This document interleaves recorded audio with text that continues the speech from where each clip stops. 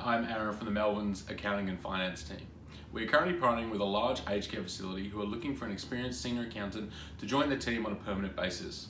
As a senior accountant, your responsibilities will include assisting the CFO in management of the finance department, manage the preparation of monthly reports including trial balance, cash flow, profit and loss, and balance sheet, oversee the development and maintenance of the financial systems, develop budgets in consultation with the CFO, invoice processing, bank reconciliations, and resident fees. The successful candidate will be CA or CPA qualified. Experience working within the aged care industry is preferred but not essential. Outstanding time management, communication, and people skills. If you'd like to find out more about the role, please give me a call on 9098 7438 or if we can help you with anything else.